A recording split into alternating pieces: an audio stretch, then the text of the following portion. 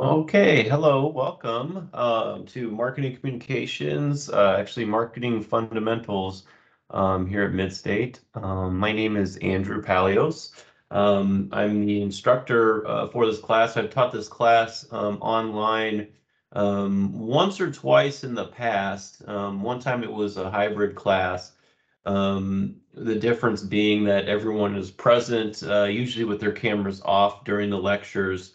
Um, whereas the fully online course, so a lot of you might already know that you, you maybe have taken an online course before, um, that a, a, video will come out weekly um, of, of, of, me um, giving out the lecture and then providing uh, you the content and the direction um, uh, as far as uh, what we'll be uh, working on and what is going to be necessary for some of the assignments. Um, so let me get rid of some of my um, work stuff here. I actually work at Midstate.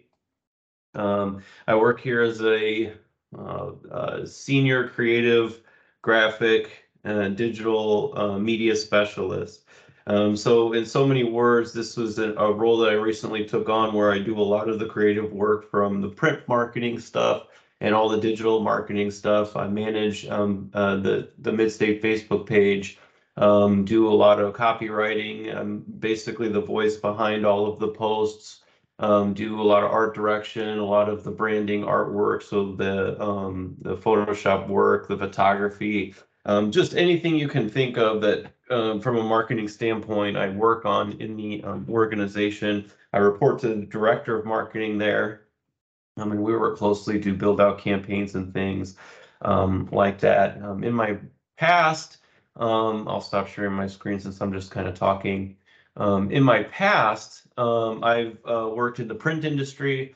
I've uh, for about four years at Quad Graphics, which is a um, uh, which is like the second uh, largest uh, printing company um, in the uh, in the Western Hemisphere.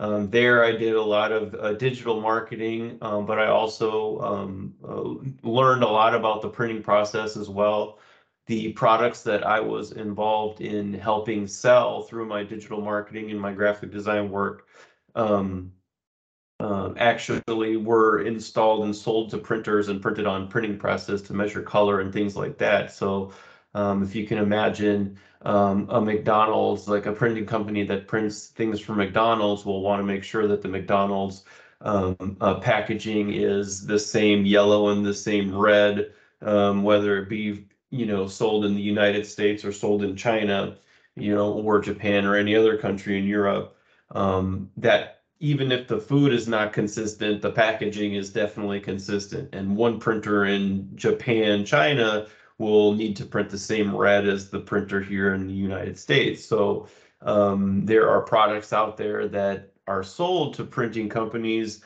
that produce um, uh, this packaging to make sure that the color is accurate across the board for those different uh, um, applications. Um, you know, before that, I was at a, like an advertising agency where I did like graphic design work, basically just doing creative work um, and and things like that. Um, uh, I also worked at a print company too, where I was producing content, um, uh, basically working as the printer um, so I was uh, producing work for printers, so uh, for machines. So if a graphic designer would give me something or give the company something, I would come in and optimize the um, artwork to make sure that it could run on a different kind of a press. So um, you know, differences between RGB color and CMYK color are things that I will, you know, familiarize myself with and convert images over to make sure that they are printable uh, from one medium to the other. Um, and most recently, I got into um, my position prior to this. I worked at a, a nonprofit agency. Uh, so I like to kind of jump around in different types of industries and see where, um, uh, you know, kind of experience how does a marketer operate in these different types of industries. Um, and so that led me to, you know, education uh, prior to this uh, to this uh, organization, Midstate. Um, like I said, I worked at a, a nonprofit where um, we were actually hosting an annual conference where I was uh, designing like signage and marketing campaigns to um, get um, uh, uh, pharmaceutical industry representatives to come and exhibit at our conference that we hosted them. So um, we were marketing to companies like Pfizer or Moderna or these different drug companies to have them come to exhibit at our um, conference. And so um, I was involved in creating the marketing stuff, but also signage for the conference itself and the environmental graphics and things like that, which are of course printed, but there's also the digital component too to market and direct mail, emails and things like that, website uh, designs, landing pages um, text messages, um, uh, conference apps, stuff like that. So there was those were things that I was kind of managing. Now here at Midstate, um, you know, I don't I don't do a lot of the stuff I used to do, but I do I still do a lot of the stuff that I used to do at just a more um, you know, in a different in a different industry. Um, the education industry I'm very interested in. I've I've been in this industry for like the past eight years. Um, I think part-time as an instructor for a while, and then here at MIDS, uh, um, at the Milwaukee Institute of Art and Design. that institution is more focused on the artwork, uh, the visual design aspect, whereas in Midstate, this role is um, uh, more focused on the marketing aspect. So the the writing and the things like that, and the marketing communications and the strategy um, behind what the artwork is designed to do. So that's a, a, lot of what this class is about. It's focused specifically on the marketing communication aspect of, of, of that, less, less of the artwork. There is an art to communication, however, though I'm going to talk a little bit about that today. Um, and, I, and I think it's very fascinating. Um, communication is a very powerful tool in business. It's a very powerful tool, especially now that we um, um, and have been and will continue to move towards um, uh, more social media um, uh, uh, interactions and marketing, and brands are spending a lot of money on social media. Therefore, the communication aspect is becoming that much more important. I would say my day-to-day job, me doing everything that I do um, in all the different media, including video, I would say probably 20% of my time is focused on video, which ends up on social media, which um, the school actually pays to uh, use that work to promote and advertise. Um, I'd say probably 50% of that is like strictly social media posting, going out there, sharing photos, taking photos, uh, sharing that, um, crafting up posts and content for things, responding to comments in the comment feed, um, responding to direct messages through their social media channels, um, tagging other individual organizations and things like that. I'm going to say um, we spend a lot of our marketing budget on uh, social media, specifically Facebook and Instagram. Um, we we spend, you know, if there's ever an issue with low enrollments or things like that, the first thing we say, what can we do on social? And then people come and talk to me, and then I say, okay, well, you know, um, uh, basically for Facebook, you can, uh, you know, spend a dollar a day. But if we have a campaign that um, is going for a month or so, you know, you might want to spend um, more of your budget up front and then more of your budget towards the back on your social media. And then you want to reduce potentially the budget in the middle. Um, so um, towards the front, you gain that excitement. So you get a lot more exposure and get more excitement. So you put dollars behind that this new shiny object thing in the marketing world. You spend a lot of budget on that in the upfront. And then towards the back end, you spend a lot of budget on the back end of that marketing campaign, whether it be a month or two months, um, to um, gain that sense of urgency. Like time is running out, take advantage of the opportunity while you still can. You put more budget behind that messaging at that back end, and then maybe you keep a little bit of budget in the middle just to tie the both ends together and keep the campaign flowing between those two extremes, let's just say you're doing a direct mail piece, you're doing uh, handing out flyers, you're telling your salespeople that are out in the field to um, these are your talking points in regard to this campaign and things like that. So all communications, all different channels, all different strategy as to where you're placing your focus, time, money, and attention that's the interesting stuff about marketing that you know kind of fascinates me that's um, as you move through the marketing program you definitely will learn a lot of these things um, the product life cycle and things like that. Again, we don't talk about all that stuff in this class. Um, we just focus on the communication aspect and the um, in the that that aspect in and of itself. It's more of an art than a science. Um, however, you know, as you continue on with your careers um, in the in the field and in this uh, in this program, they're going to touch on all of those other things too um, those other aspects of a marketing campaign. And then you can kind of take the communication aspects and then use those to fit into um, all of those different buckets that you're going to learn about as you move forward. Um, that's know that's about it the, what i really think is a benefit of being in the um, education industry is this very um, stable um, especially in a two-year school. So I think um, as you all move forward and think about your careers um, um in the future, what you're going to do with your uh, program and your credential, definitely think very long-term. Um, think as long-term as you can I think education is probably very stable. There was a very much of a point in time where people thought, oh, you don't really need education and people are going to stop enrolling in education so much because you can learn everything online. Yeah, you can learn skills online, techniques or tactics online, but you can't learn how to think in a strategic way online. Um, you have to do that by collaborating with other people, person to person.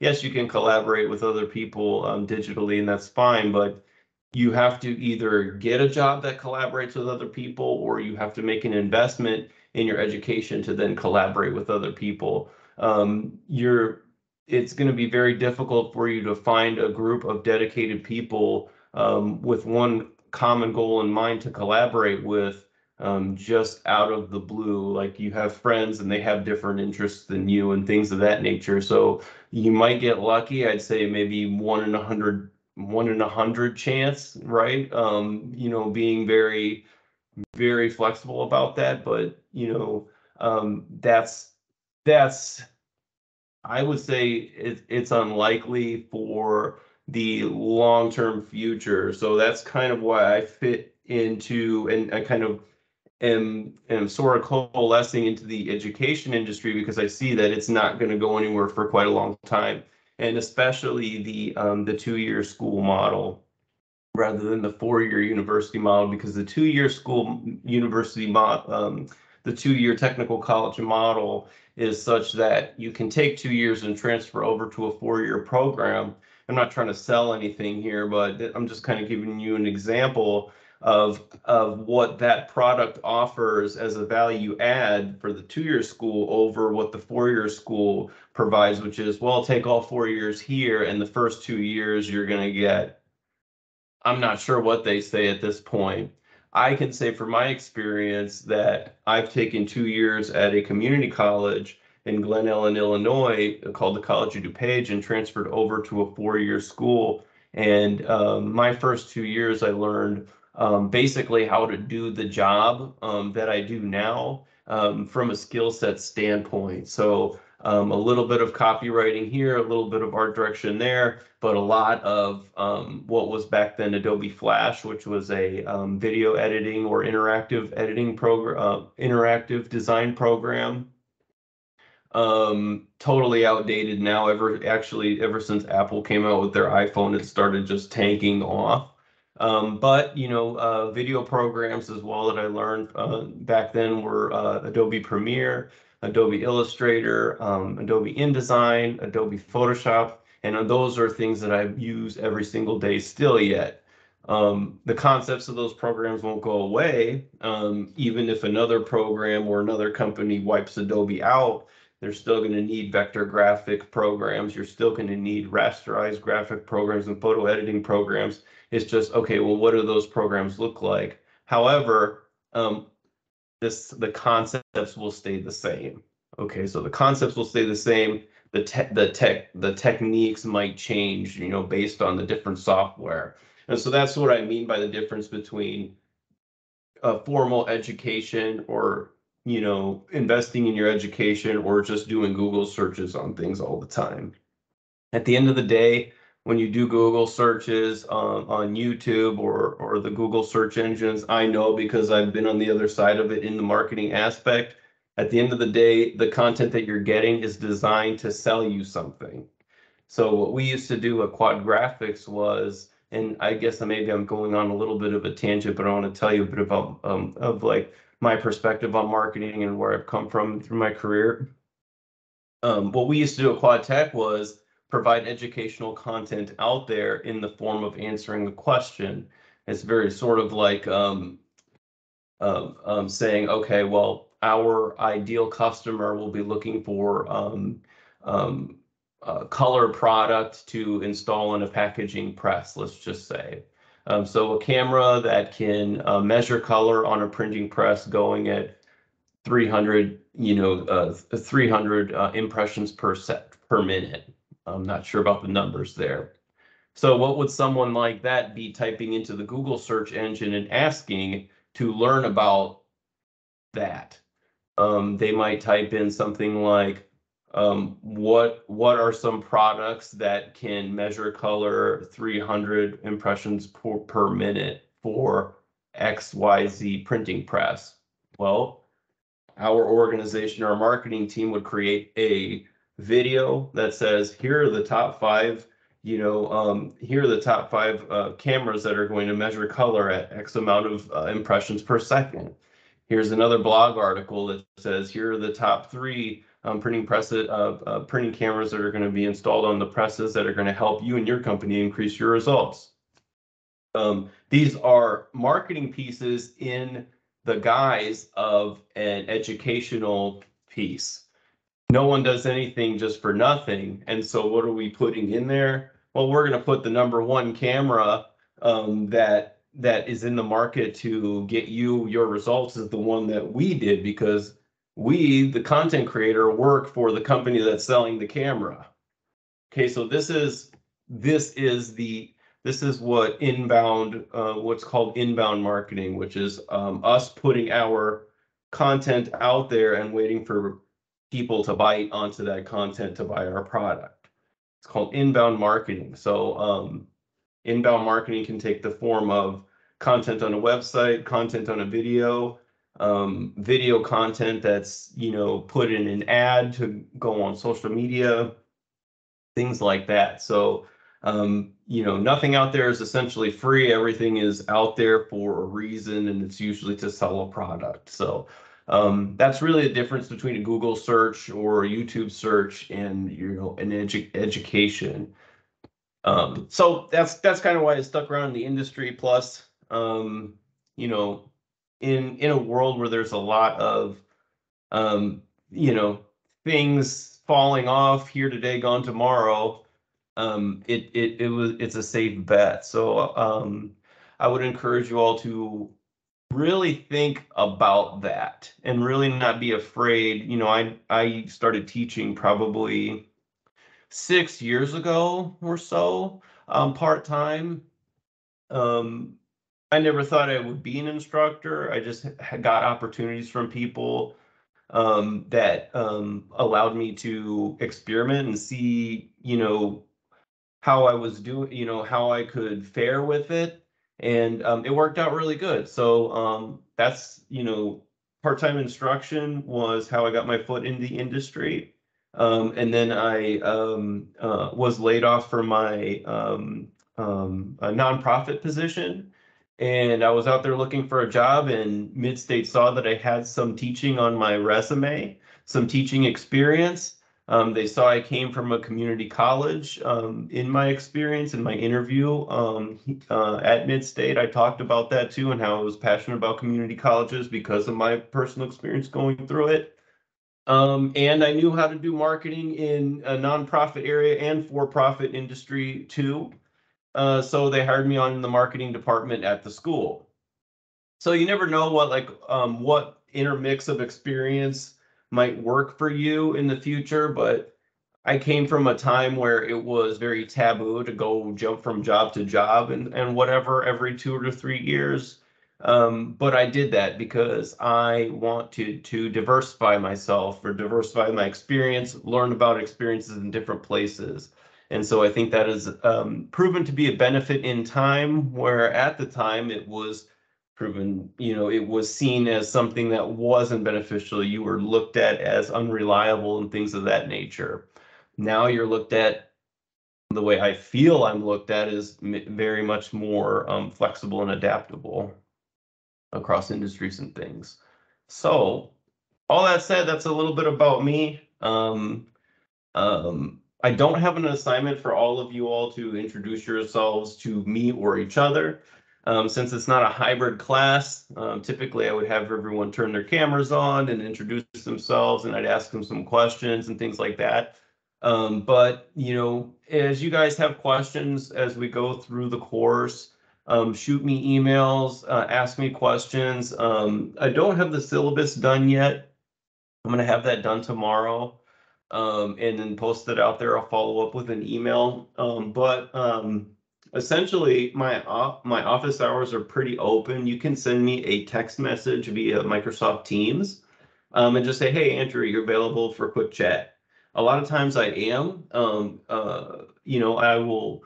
You know, I can take 5, 10, 15 minutes. You know, out of the day to just do a face-to-face uh, uh, chat with you meeting to talk about an assignment. Um, I can pull the assignment up on my screen. We could walk through it. Um, I've done that many times. A lot of students that have been struggling with any piece of content for maybe 30 minutes, 45 minutes. All, all they need from me is about five minute quick conversation. Um, it could even be just text messages back and forth, which is which is what have been done in the past um, and then I can get them on their way and get moving. So I would encourage you not to struggle with any kind of things that you might be having trouble with. Um, just nip it in the bud, send me a message. Um, if I don't get to it within like three minutes, I'll get to it within like 15 or 20 or, um, uh, you know, I get messages on my phone and stuff too. So I'll just text you and say, Hey, I'll get back to you in 10 or whatever um, or we can set up a meeting and, and you know uh, a virtual meeting and then go from there. I do have an o- uh, office on the Wisconsin Rapids campus. It's on the second floor. Um, if you need to meet in person, that's okay too. Just send me a text message and we'll arrange something if that's if that's needed. Um, so just know that I'm available to you. Um, and my office hours are very much open because that's kind of where the environment we work in now is just te- I'm a text message away essentially. So don't feel like you need to be struggling or anything like that um, through any kind of pro- um, things that uh, projects you're working on and stuff like that. So let's get through week one here. Um, I think I got a good overview to you guys of what we're talking about, basically focusing on marketing communications, fundamentals of marketing communications, right? Let me give you a tour of Blackboard here.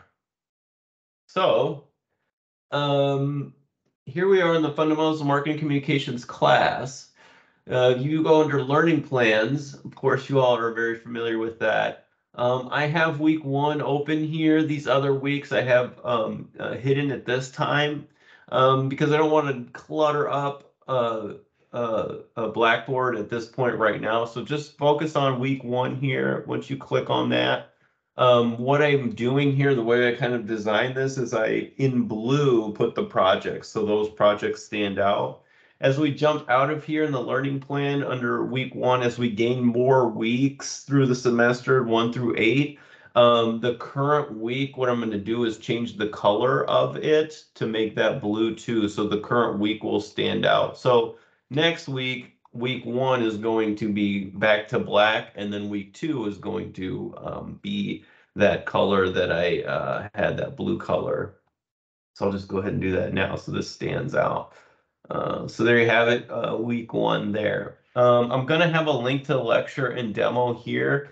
Um, I had these demos, um, these lectures actually recorded uh, from a couple years ago, um, but I am re-recording them uh, for this semester um, uh, just as things might have changed, you know, over time. And um, a lot of what I like to do uh, in the classes that I teach is um, kind of relate them to what might be happening in the real world today, right? So um, a lot of things uh, come up, like especially during like the pandemic in 2020, I believe. Um, you know, there were different um, organizations doing different things that were very unique to the pandemic, and they were positioned very well, such as Amazon during the pandemic, during a class that I was teaching at the time, which is fundamentals of uh, marketing. Um, and and so that subject matter made its way into the class and we talked about it. So it's always good to like update and refresh your thing, uh, your your work. I'm going to share this link and it's going to be on YouTube as well. So you'll be able to access it through your phone, using your headphones to listen to it if you need to, or anytime 24 7 as well. So um, it will be, the link will be here on Blackboard. Just click on it. It'll just open up a YouTube link um, uh, out of that. Um, okay, so let me jump in here. Um, first thing uh, that that I kind of talk about on the first day of this class is the uh, editorial style guide. This is kind of like an art, visual art type thing, but this is a, a visual style guide. Um, uh, and I have the PDF here. You'll just kind of click it and download it um, on your machine. And actually, I'll hit this download button here in the upper right so I can just save the um, PDF version so I can uh, navigate around um, better. That way I like to zoom in and things like that really fluidly. So let me move this over. Um, okay, so every brand is going to have what's called a visual identity guide. Some people call it, some organizations call it a visual style guide. But what this does is um, uh, it is a piece of communications that um, every brand will have that um, is provided to usually a um, team of graphic designers or a marketing team. It could be an internal marketing team, like for this in, in this instance, this is Mid-State's official one. We still use this now, um, although we're changing our brand, and that's kind of a side side thing um, right now. But this is a great example that is current. Um, an internal team like mine or an external organization that is um, that is doing graphic design work for us. So if Midstate as a brand wants to make sure that all of our content looks consistent across the board, no matter who works on it, very similar to that McDonald's print analogy, right?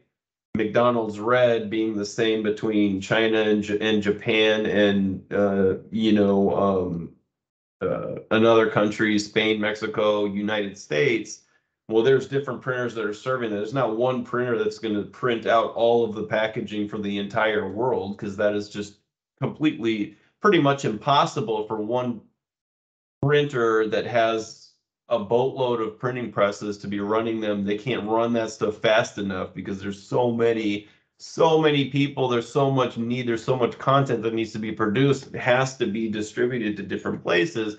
And that's very much the same in this situation here, where Midstate, as a marketing team of four, with what we have now, including myself, we can only do so much. So, in the case that we hire on another external organization to help us with marketing content, we want to make sure, right, that our Midstate red is the same uh, red that they produce as, as the one that we produce here internally. So this is what this style guide will actually do.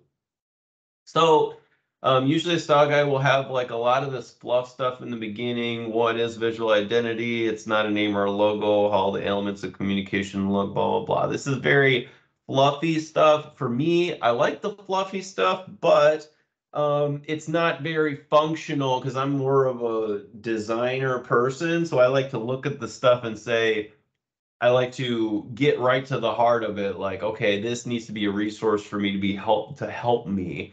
What this stuff does here is, you know, tell give people contact information, put this whole document into context. Probably someone that doesn't know anything about visual style guides at all um, will need a little bit of an explanation like this here. Um, Uh, positioning statement here. This is like a statement that kind of gives the idea to the um, per uh, the organization or the person that's working on the brand as to how to think while they're designing the content. So whatever they're producing and putting together um, has that same um, uh, has that same uh, feeling uh, behind it. Again, this is very much more of an art than a science. So the saying goes, what you think about, you bring about.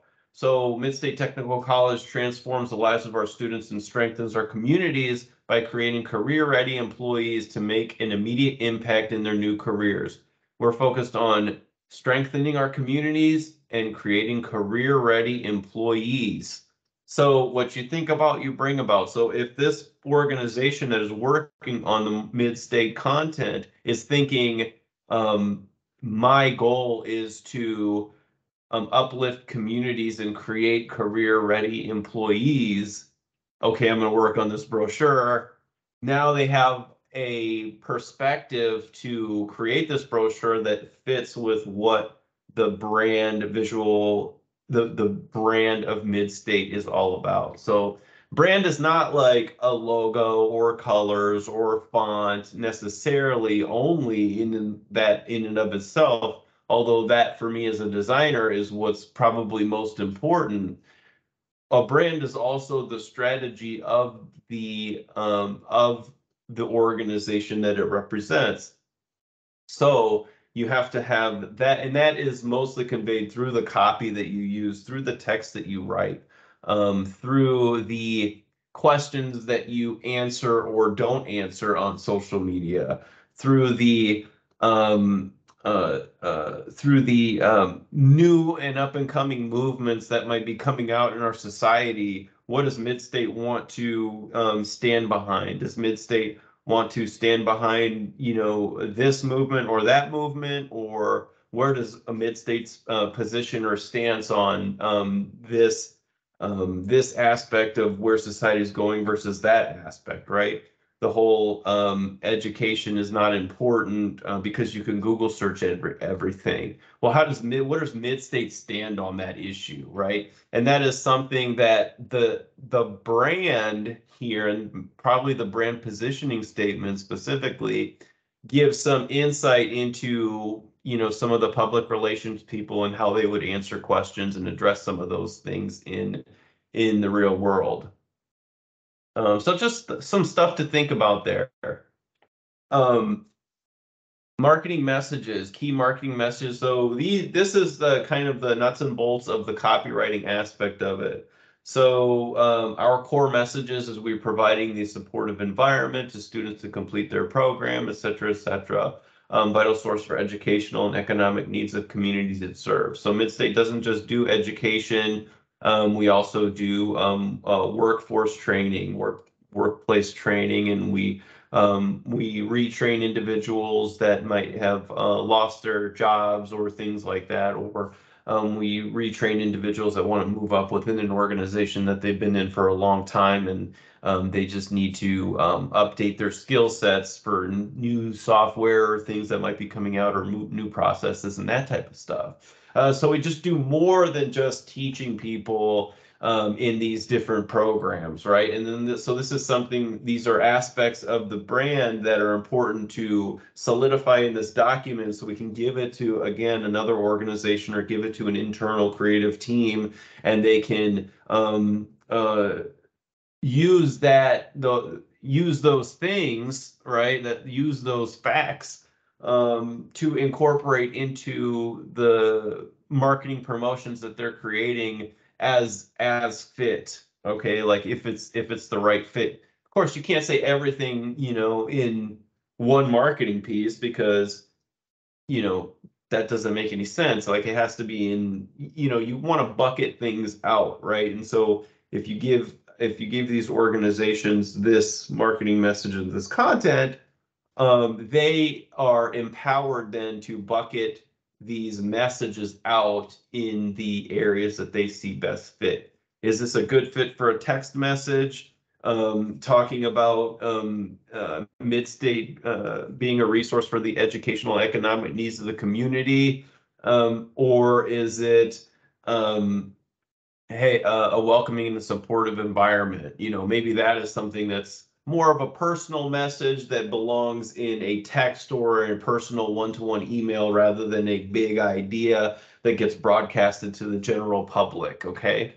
that's where audience comes in and the um, relevancy uh, for the marketing messages per who that audience member is. So that's all something that should be taken into account in the marketing uh, uh, in marketing communications as well.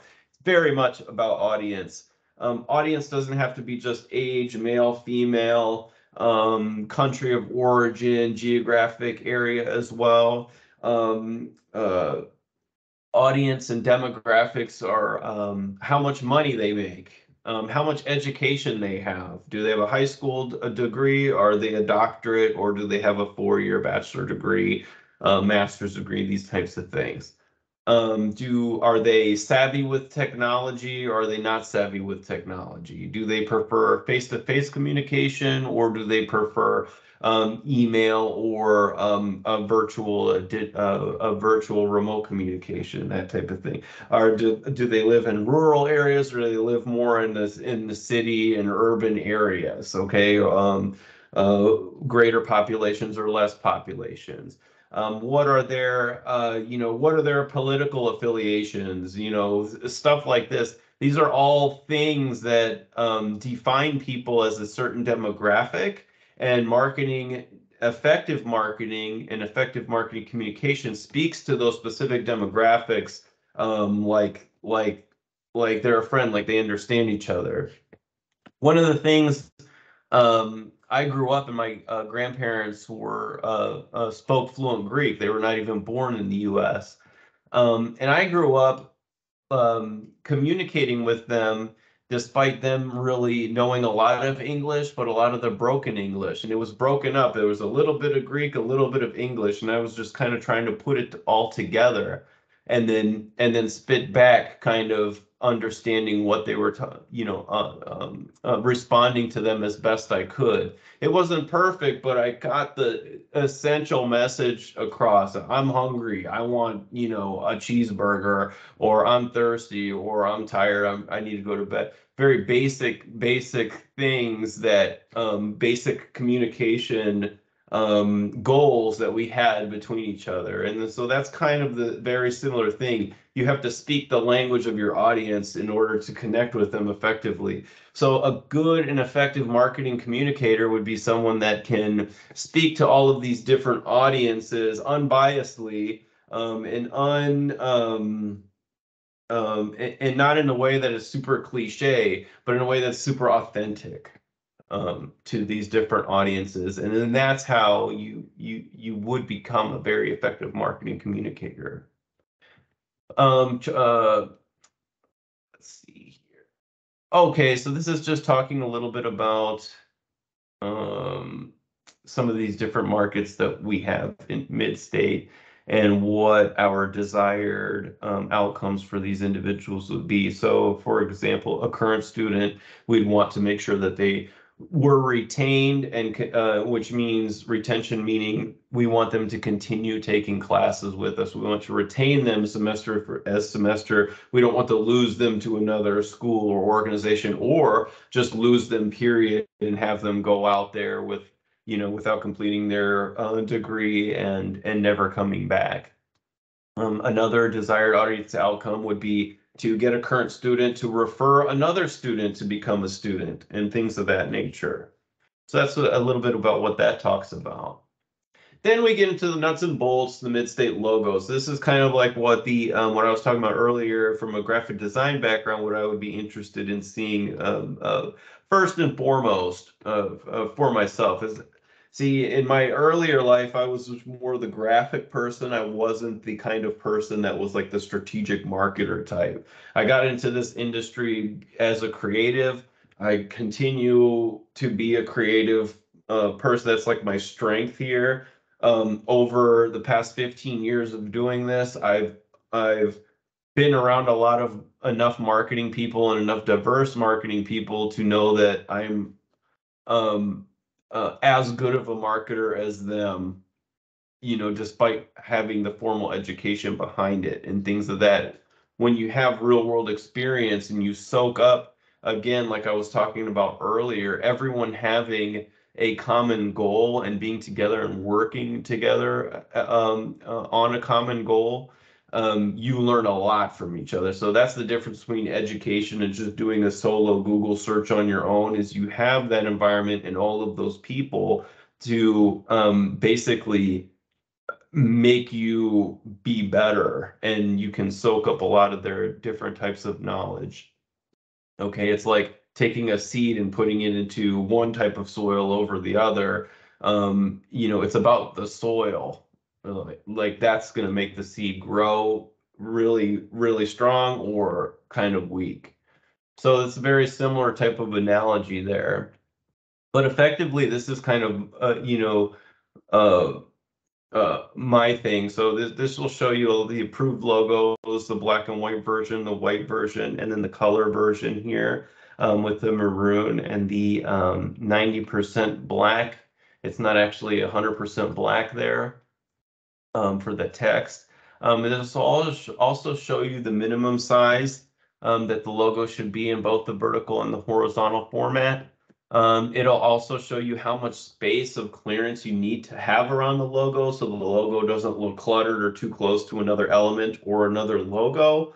Um, so, you know, if Midstate is too close to a different logo, we don't want it to be like, you know, Midstate coffee or something like that. Like, we don't want people to mistake all that. Um, we just want to make sure that it has enough space and separate from a logo. It, you know, this prevents any kind of um, artistic artistic expression, you know, from um, from anyone out there that just wants to be creative and different. You want to sort of, I mean, not not like overly regulated, but give give some guidelines that you know are reasonable to other designers and things. Um, we give our PMS color. So the maroon is actually called PMS 202. PMS is is Pantone uh, so the Pantone color um, books are basically um, swatches of color, and there's like hundreds, hundreds of Pantone colors. But this is the color system that is used across all of the printing industry across the world. So McDonald's Red has a Pantone color, probably called something like McDonald's Red, or it's like PMS 303, 202, blah, blah, blah. Um, it's not 202 because obviously Midstate is, but whatever that color is, um, that Pantone color can be matched uh, from one press to another and across the world without anybody even talking. All they have to do is say Pantone this, that, and the other number. And then so that's that's how that's uh, our Pantone color.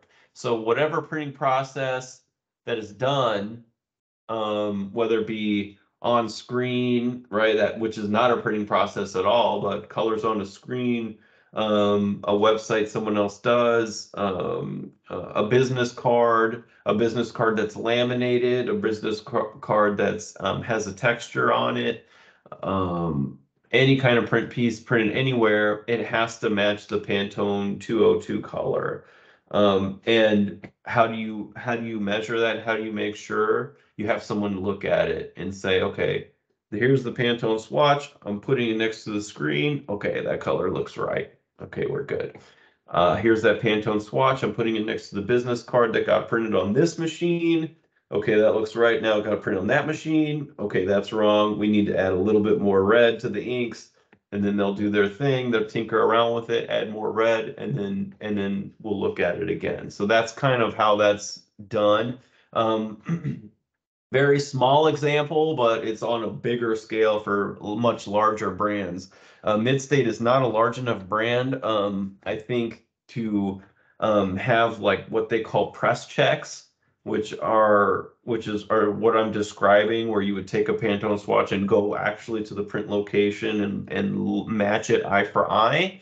Um, Midstate doesn't produce that much stuff because our community that we serve is central Wisconsin, um, Adams, Marshfield, uh, Wisconsin Rapids, and Stevens Point.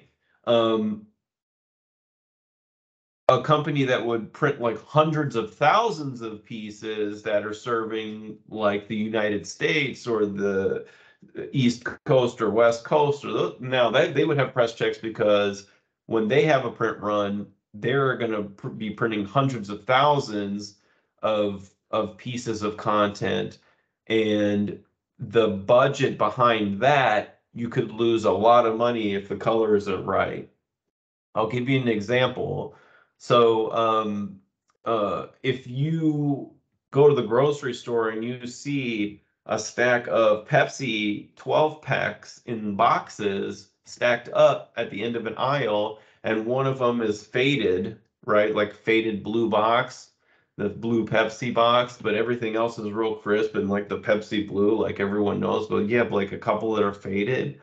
Are you going to pick up the faded box or are you going to pick up the box that isn't faded or the color isn't off?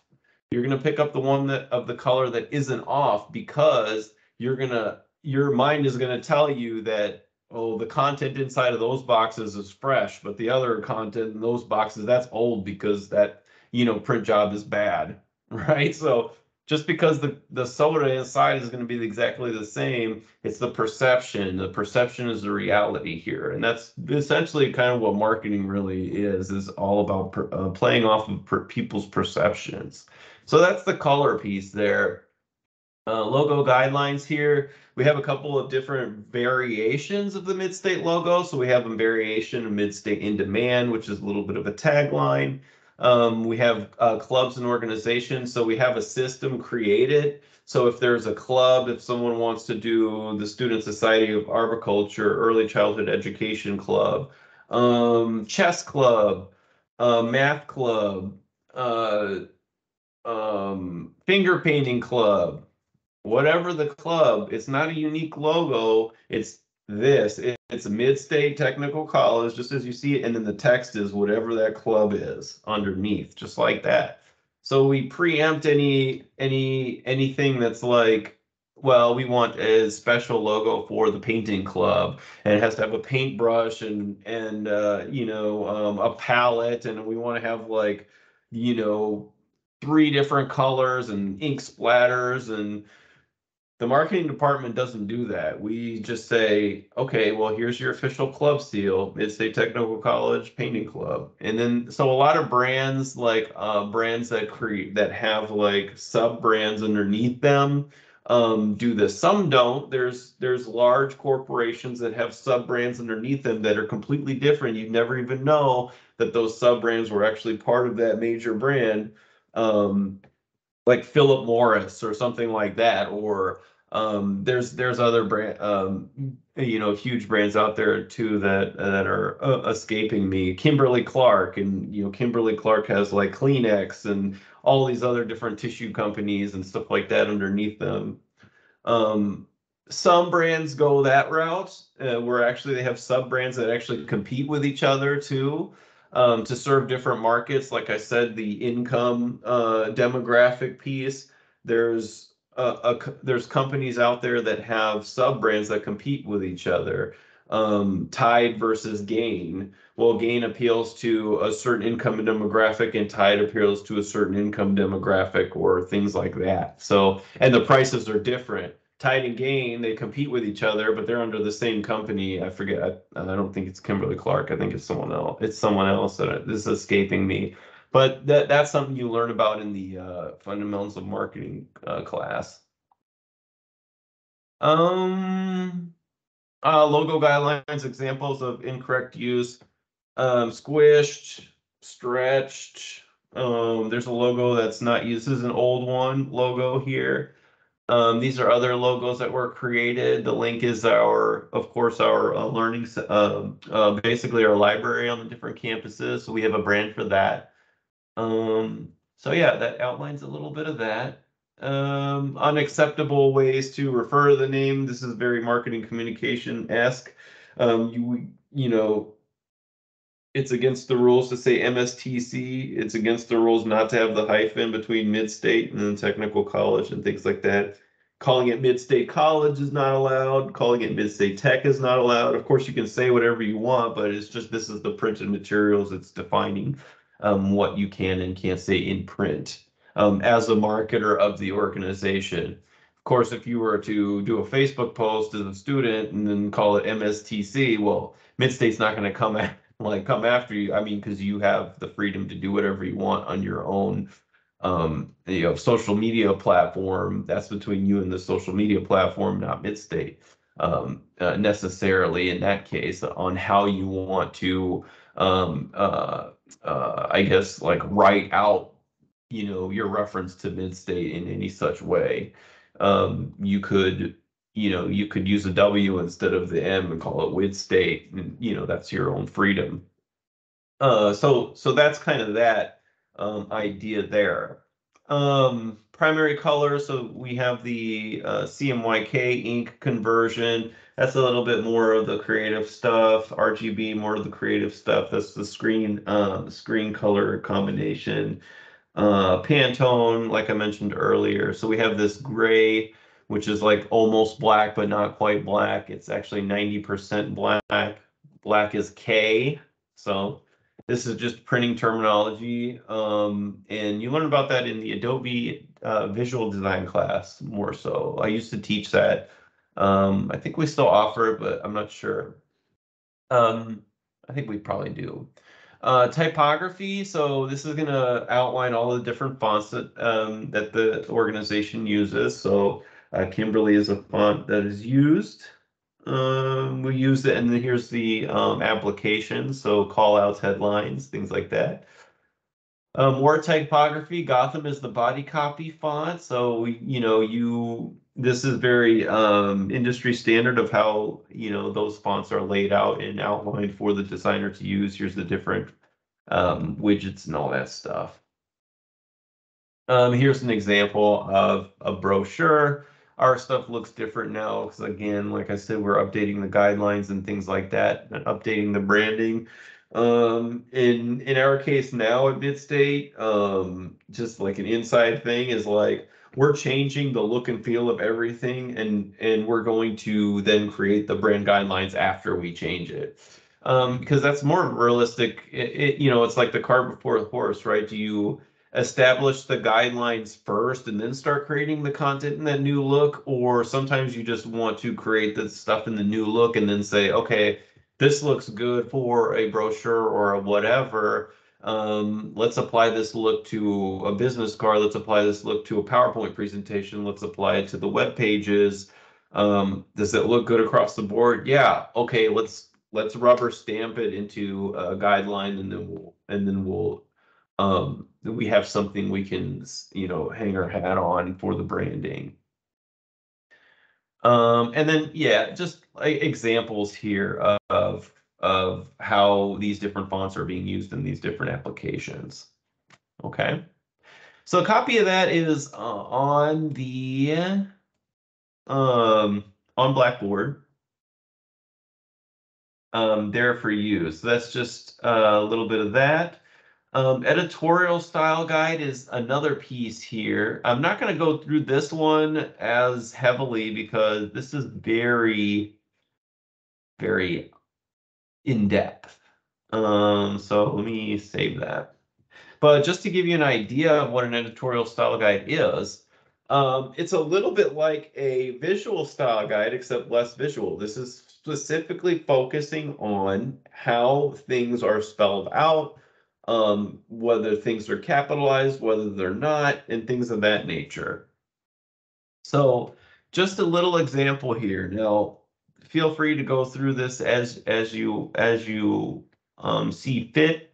I'm not going to go through it in too much uh, example here, um, but how do we do uh, African American, Asian American? We don't hyphenate it. Okay, so even those level of detail of things are actually outlined here. Um, LINC uh, is the name of our library and learning commons facilities. Use the in the front of link, but do not capitalize it, the link. Okay, so basically the L, the L is capital, but the I is lowercase. And then you say the, you have to say, you have to call it the link, not just link. So it has to be like this, the link. And then the I has to be lowercase. So just like thing, little rules and stuff like that um, that um, our uh, content, our content people will put together.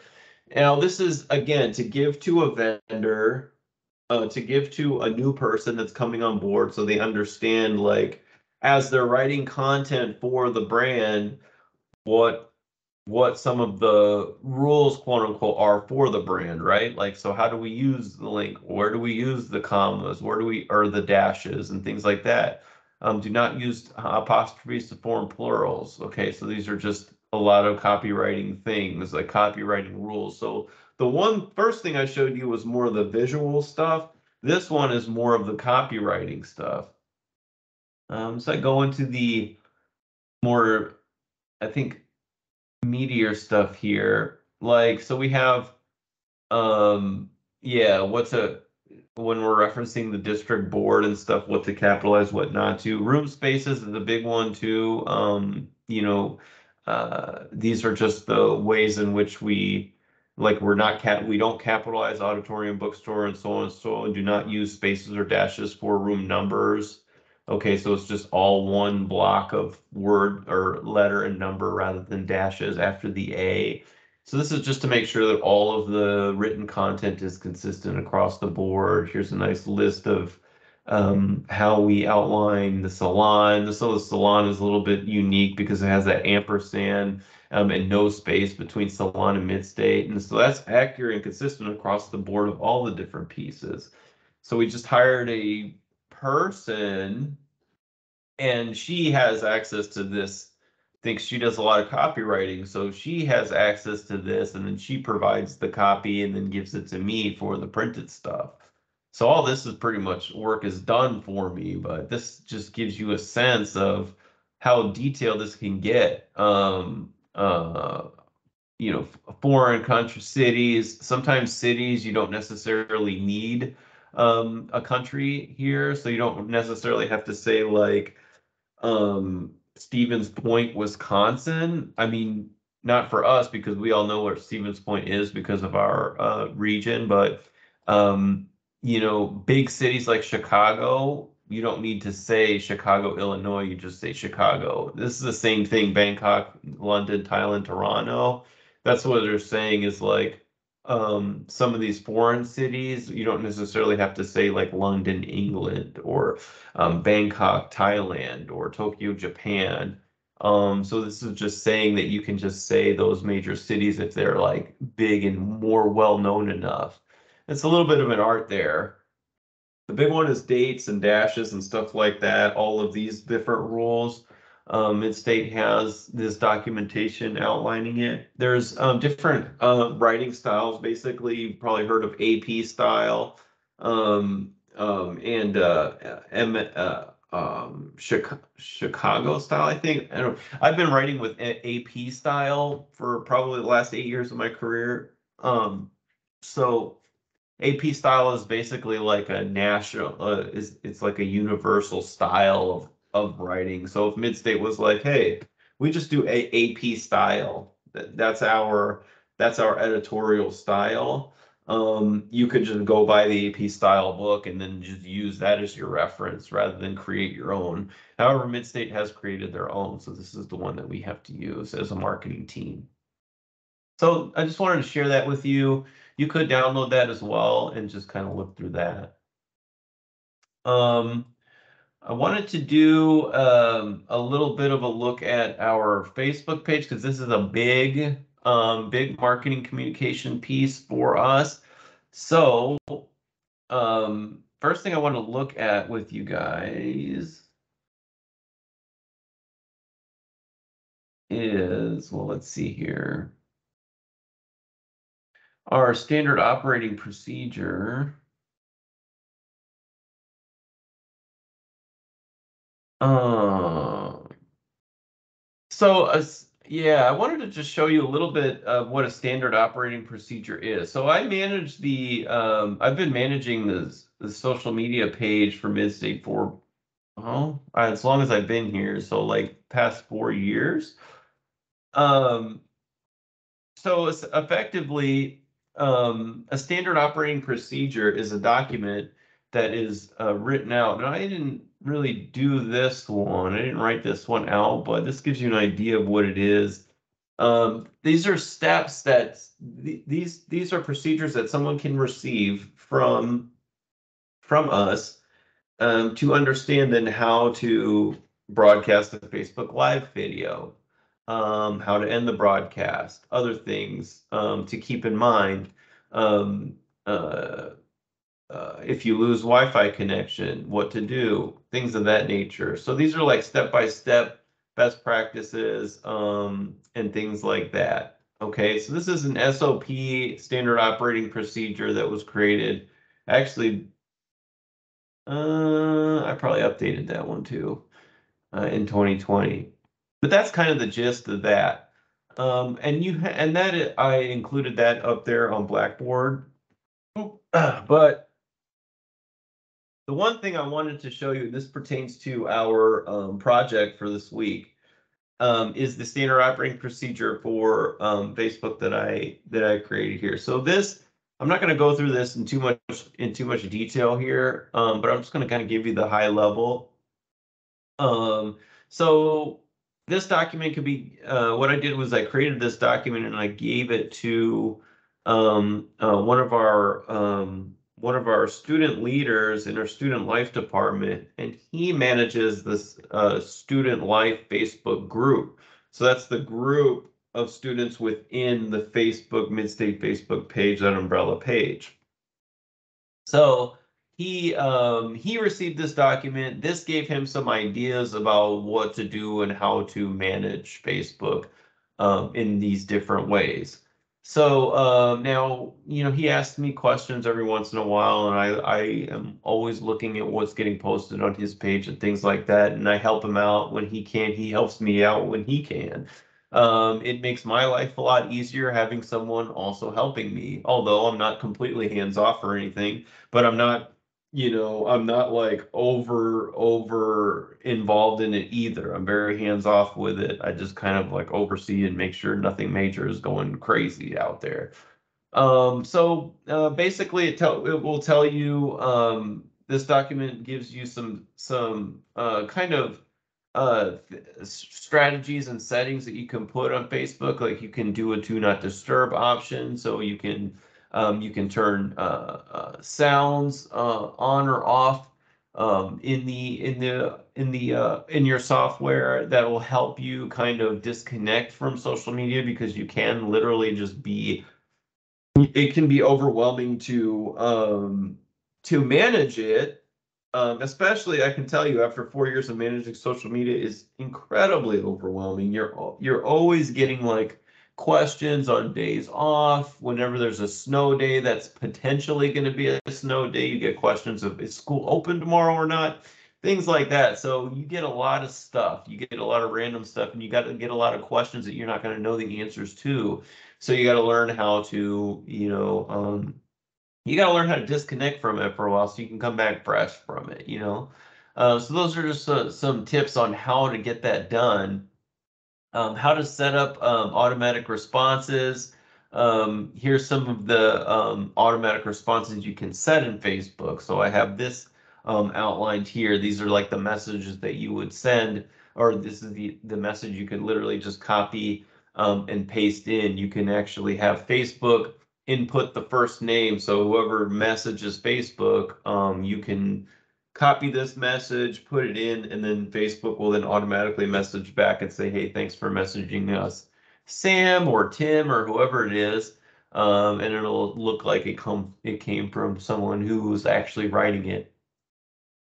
Um, you know, there's a lot of interesting stuff too with AI going on. You know, very soon, uh, someone managing a Facebook page will probably be an AI bot doing it um, which would be, uh, I mean, it, I don't know. It it might be uh, it might be nice in some instances, but um, it might be um, actually, yeah, hard for people to keep their jobs with with something like that. You never know. You never know if that technology is going to pick up or not. Um, you know, you'd think it it would be a little more advanced than it is by now, um, but you know, maybe it's maybe it's not. Um, yeah, you know, oh, oh, I'm, I'm definitely thinking about that too. I've heard of some news stories about that lately, but anyhow.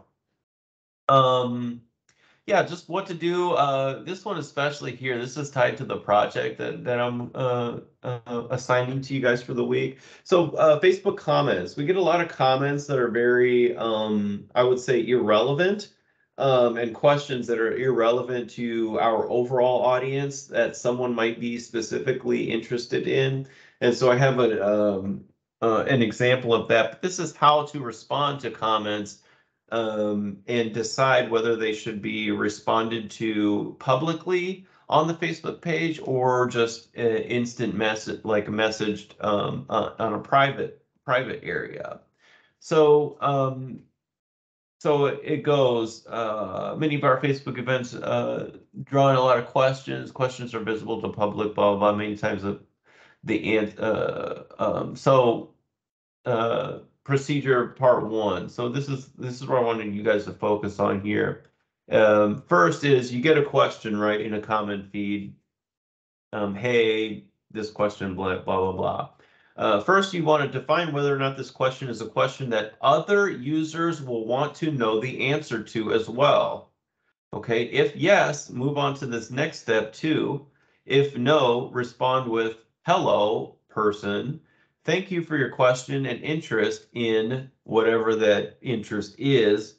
We will circle back with you privately. So essentially, Midstate is saying, okay, well, this person has a question, but no one else is really going to be interested in the answer to this question because it A might be too personal. Like maybe the question is, hey, um, um, let's see, hey, this continuing education course seems really interesting, but I can't make it to uh, that course because I have to work.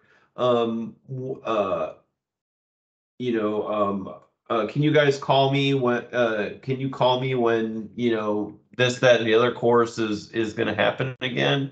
Um, and then you can say in the public, you know, I would say I would not say yes, we'll call you out there in public because we don't want the rest of the public to think that we're going to call them each individually if they want us, you know, to give them a reminder about a class or whatever.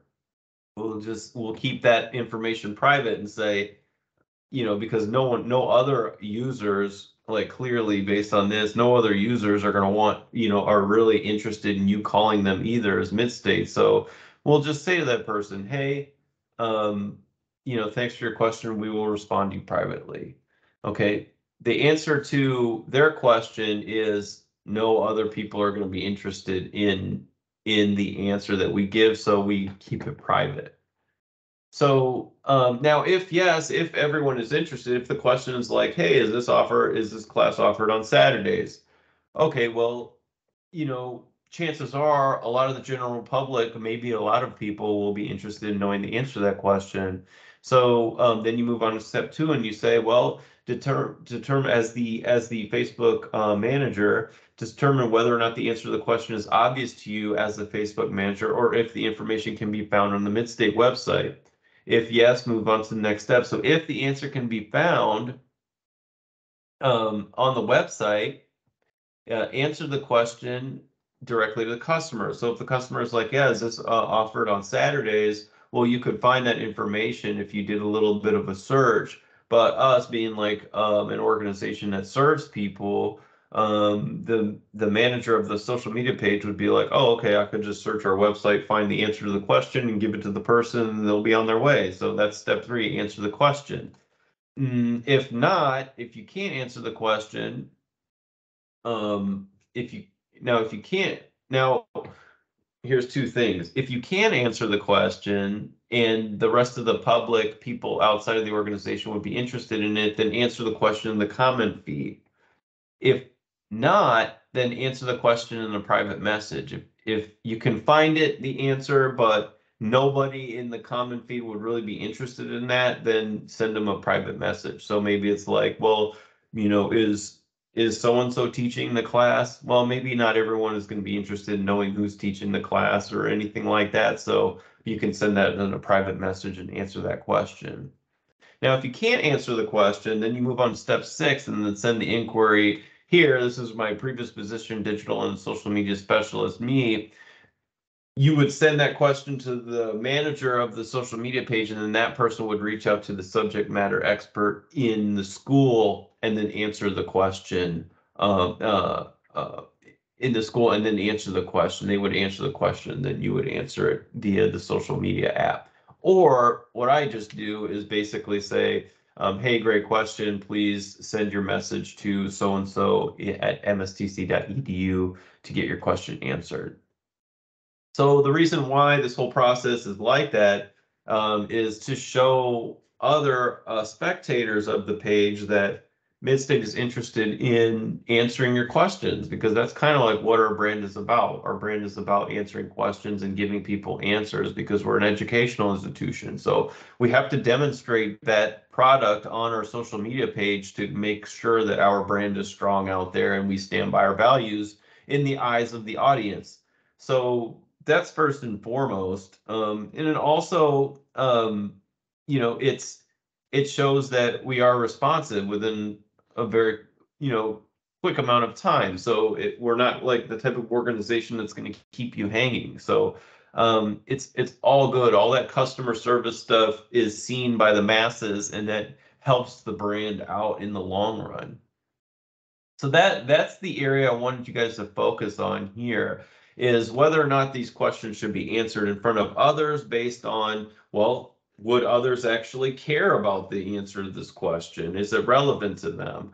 Um, even, it, and I would say if it might be relevant to them in like, I don't know, one in a million people, I would say no. But if it's like maybe one in 10 people would be interested in something like that, then yeah, answer the question publicly. If it's if it's you know too personal or is too unique or too specific of a question, no one's going to really care. Like the general public doesn't need to know about that. Just circle back and say, hey, thanks for your question. We'll send you a message privately. This both says to the public, hey, we're um, you know recognizing this person and answering their question, but privately because we know you guys really don't you know care about the answer to this question or it might be too personal. And and B, it's telling the person, hey, look out privately, so we're going to send you a message. You know, so heads up. Um, and so that's pretty much the, there's more to this document here. Um, uh, follow inquiries. There's just some examples about how what we say when school might be canceled to, uh, you know, because of snow and things like that. These are all copy and paste responses um, in the document. And then actually, this is a, a shorter version of the major, the big document here. Um, here's responses for negative reviews. These things can just be copied and pasted you know, here. So that's what this was designed for. If we get a negative review, this could just be copied, pasted, and then tweaked maybe a little bit um, based on um, who, you know, who this person can contact at Midstate for their um, concern or negative review and the email of that subject matter expert internally.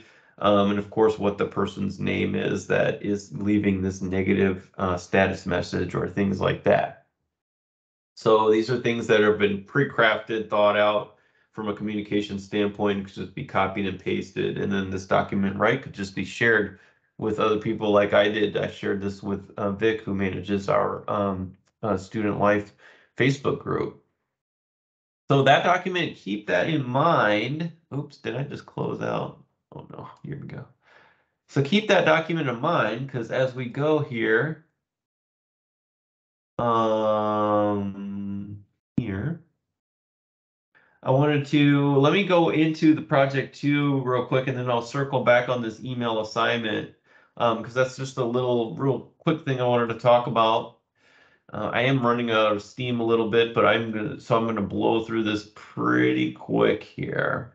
Um, okay, so again, the projects are outlined in blue. So project two, I'm going to go over social media because that's because that's because I just went over that um, Facebook document here that this is a little bit relevant for. If you download, uh, what I have here is the assignment and the SOP document snippet. So the SOP social media doc um, file here. This is the snippet um, that I actually shared and you'll just want to go down to post comments and this will be the area that you'll want to um, use to answer the question that I have in the assignment. And so here's the assignment. Okay, so the assignment basically is uh, due for January 31, Tuesday. Um, all of my assignments are due like before midnight. Okay, so um, January 31 midnight, which is, you know, January 31st at midnight. So um, it, that gives you the whole entire day. But essentially here it gives you three scenarios. Uh, so these are the questions. So scenario one, that's question one. Scenario two, that's question two. And scenario three is question three. Scenario one, uh, Midstate has a Facebook event called From Hamilton to West Side Story, Identifying Our American Experience. So this basically event here is um, a course uh, that um, Facebook has for uh, people that can pay to just go, go and take the course. It's like a few hours or something like that, and they can learn about something unique. So um, it's a continuing education course. It says here, what you can do is click on this link and open this course up. And what I want you guys to do, I need to open there. One second. Okay, so here's like the description of it here. But what I wanted really kind of go ahead and hold on a second, guys.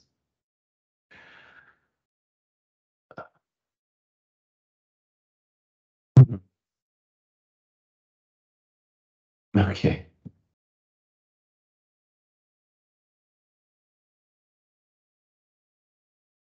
I was working fine earlier. Hold on one second. Okay, yeah, so you click on that link and then it'll take you to the event here. So this is a past event. Um, but it's a class. We set these classes up as events on Facebook so people can register.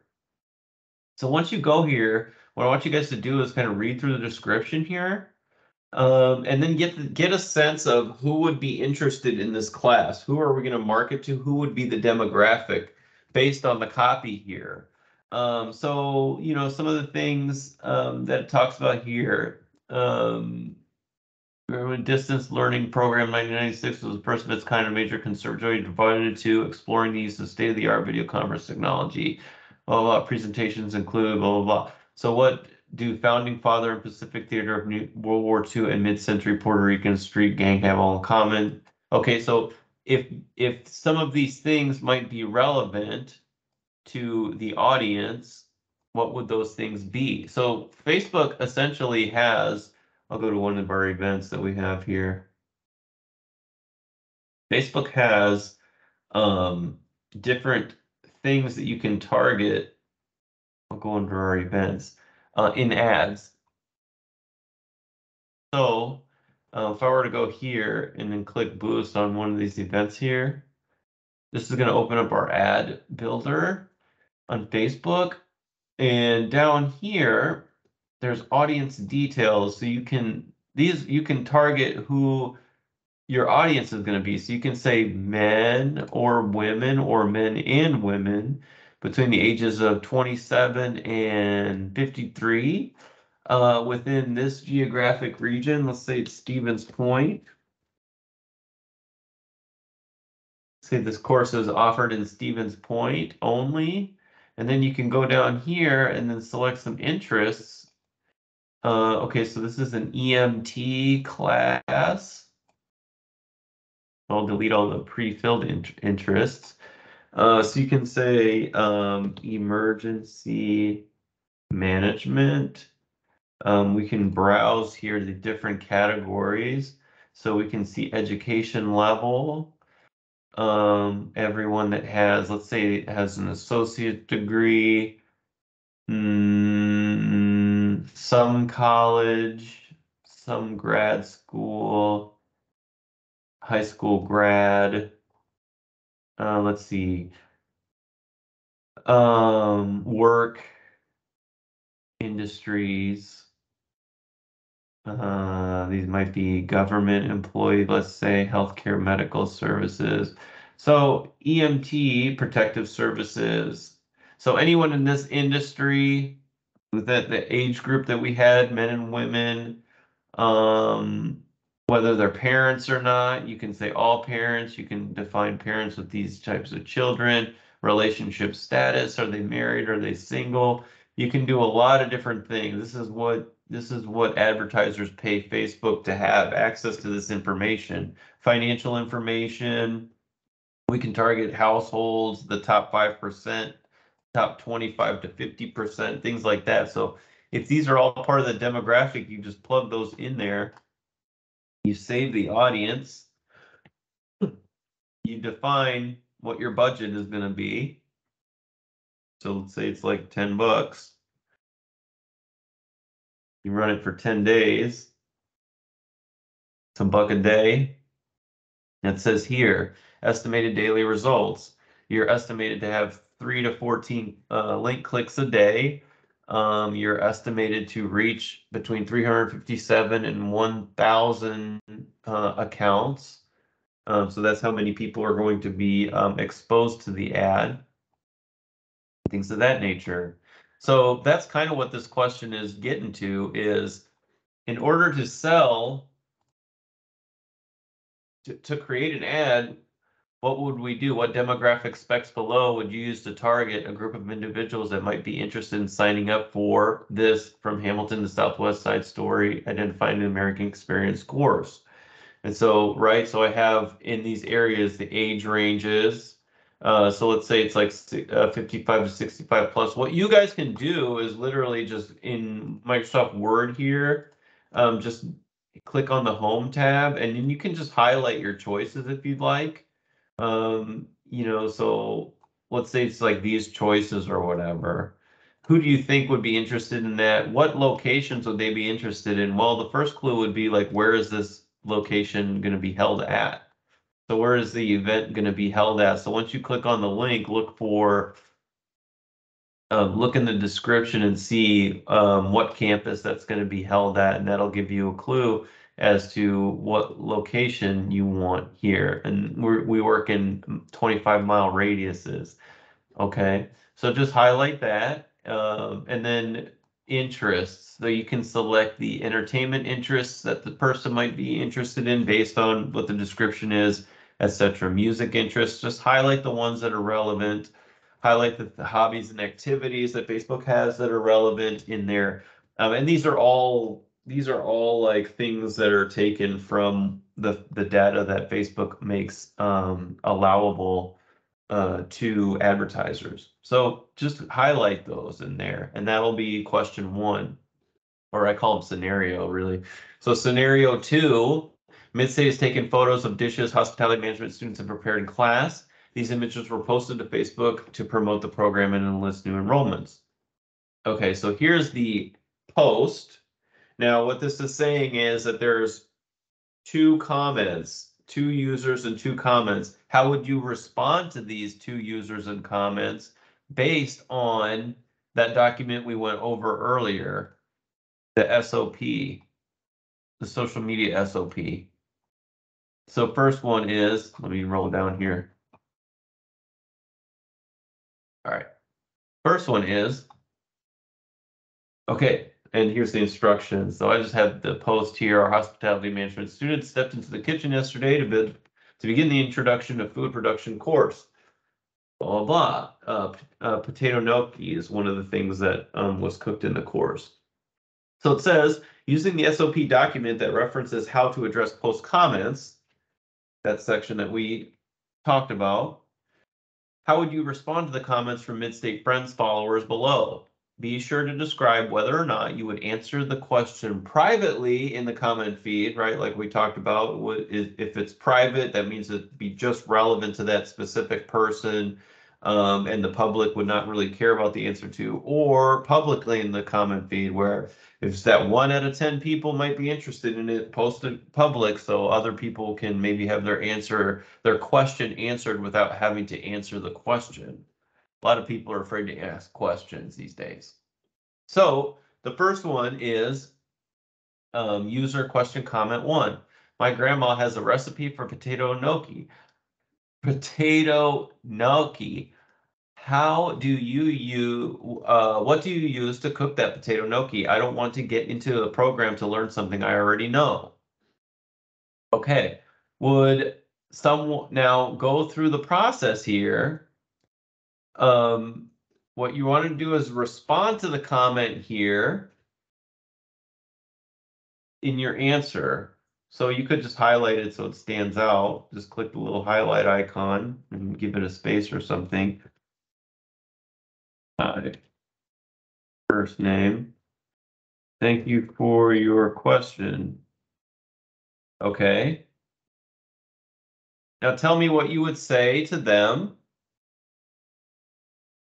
And then say, and then give me a note that says, this answer would be private. Oops, private. Or public. Just let me know whether or not you would answer this question private or publicly. Okay. And then same for this next one. This user says, I looked on the website, cannot find where to find the program guide, so I can know all of the details for each individual class. Can you help me? How would you answer? How would you go through? How would you go through? Would you go through this process? And how would you answer that question? By using this process, okay? And then that's it for that one. And again, just just give me like a just make it obvious that that's that's your answer to the question by just writing it out and then highlighting it something like this. And then again like let me know is it private or public? Okay just let me know. Uh, and the last question midstate has a new podcast called profile central wisconsin. Now here's an important thing. This podcast is sponsored by portage county business council okay? So here's the post that I have for it. Now, here's the two questions. Based on what you see in the promotional post below, what organizations would you tag in the post? Okay, so on Facebook, we know tagging is super important because if we tag another organization that has a bunch of followers, then it, then that organization sees that we tag them and they comment on our post or like our post. That means that our post is going to get, get exposed to all of their group of followers, helping us potentially grow our following via that sort of brand interaction on Facebook. So, um, based on this description here, where it says Profile Central Wisconsin is a podcast, blah, blah, blah, about the origins. Okay, this post here, read through this let me know what organizations you would post. Remember, I highlighted this. This podcast is co-sponsored by Portage County Business Council. You can barely see the Portage County Business Council logo here, but definitely, um, definitely keep that in mind when you're deciding what organizations you'd like to tag in the post. Okay, it's like a little clue there. Okay, so let me know what those organizations are.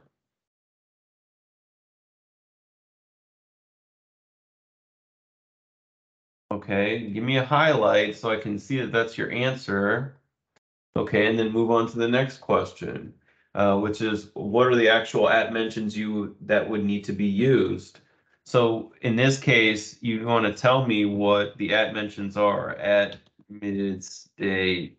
Heck, let's just say um, you know, if this was, this is not an answer, but this is how you would show the answer for that question. And we want to look at the actual at mentions.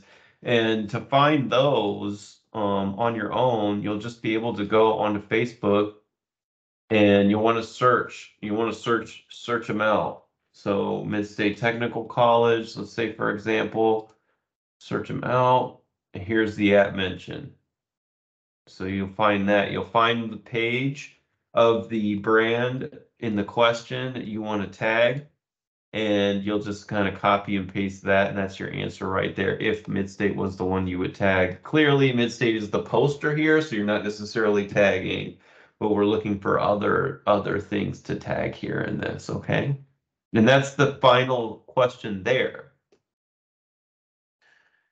So again, if you guys have questions, you can shoot me a text or anything like that.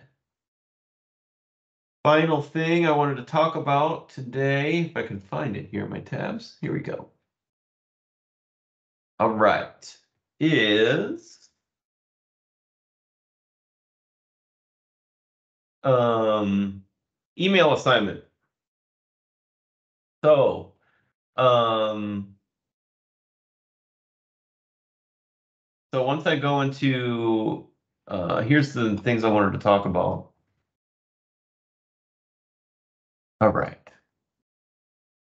So marketing communications, sometimes, a lot of time, most of the time, some of the most important things to uh, some of the most important communications you have in marketing uh, in the business world is email.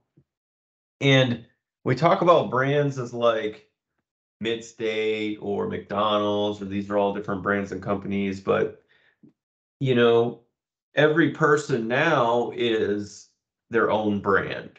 So as you move through your career, you want to make sure that you're writing messages to um, your coworkers, your supervisor, um, you know, if you're an instructor to your students, um, to vendors, you want to make sure that everything you write to these individuals that you're interacting with um, is in such a way that it helps your personal brand because you never know who is you're going to come across again later on in your career that you might need to you know get you out of a pickle if you lose a job or something like that or to give you a recommendation or um, you know, you want to make sure you have a really solid relationship with some of these vendors that, you know, if you're a little bit late on a project and you have like an emergency situation where you have to like, get something printed out or you, you know, you have an emergency, you want to you want to build a rapport, make sure you have a solid enough brand so you can actually get people to do you favors and stuff in the future rather than be like, oh,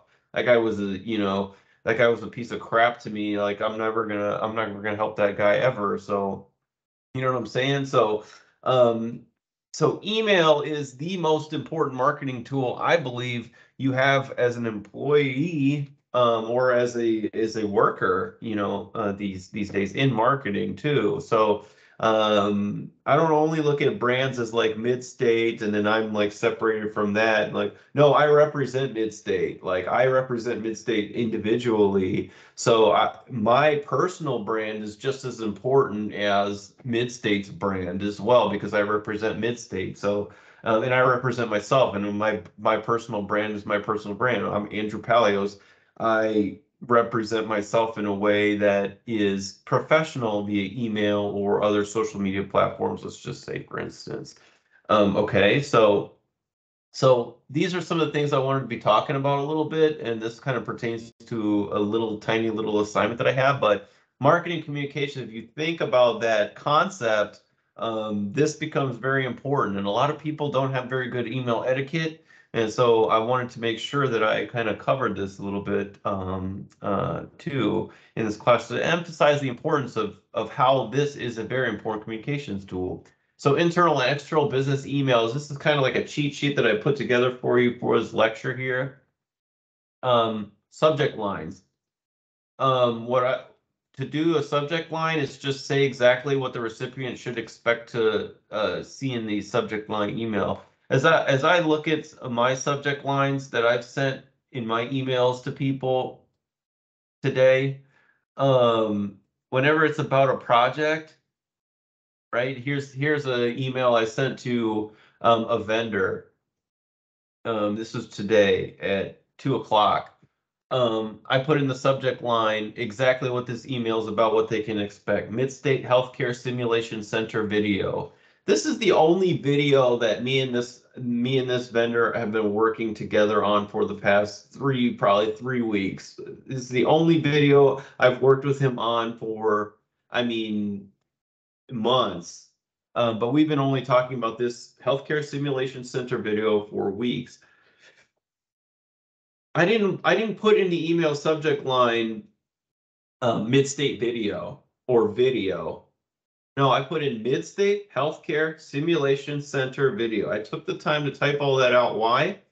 Because if this guy need, this guy, first of all, has a lot of things going on. He's got a lot of clients that he's doing a lot of media placements for, and, and we're one of his many clients. So I want to make sure that it was very clear that this is the Mid-State Healthcare Simulation Center video, and then I want to be vague and, and, and stuff about it. So now he sees me as someone who is very specific in what he says. He sees me as someone who um, uh, takes the time and care to make sure I'm communicating very accurate and efficient and, and, and efficiently what he needs to know in the email subject line. And in the future, if he needs to go back and find an email from the past and he types out um, Mid-State Healthcare Simulation Center or Healthcare Simulation Center or Simulation Center, he's going to come up to this email because I have the words Healthcare Simulation Center in that subject line. If I were to send him a, a thing that said Mid-State Video or just video, if this guy goes and types in simulation center or healthcare simulation center, he's not going to even see this email because he's not going to be able to find it. This is this is a tactic that we all should start doing because search engine optimization when someone goes onto Google and types in a word into Google, the only websites that are going to come up higher on that search list are the websites that have the verbiage that matches what is in that question. That's one of the that's one of the criteria for that piece of content to come up higher in the search, right? So if you're getting yourself used to this habit of being very clear and concise with your communication to these individuals, they're going to find it much easier to work with you, find it much easier to find the emails that you are sending to them from the past. They're going to love your brand. Your brand is going to be stronger, okay, in their eyes. If you think of if you think of the alignment between search engine optimization and how you write emails to people, they are very much aligned. They're very much aligned and very tightly knit together when it comes to branding and your personal brand. You rise to the top if you are an effective communicator. Okay. So that's subject line. The to area, um, there's a lot of the the differences between the to area, the carbon copy and the blind carbon copy areas in the email um, recipient area is there's confusion out there. You know, even even today, um, so the to person is the primary individual responsible for replying to the email. Okay, so there's a lot of emails that I get where it's to me, but then there's other people carbon copied the CC area in there. Okay, the carbon copy area is for an individual that should be aware of the communication and be feel like they can join into the conversation. However, they don't necessarily have to.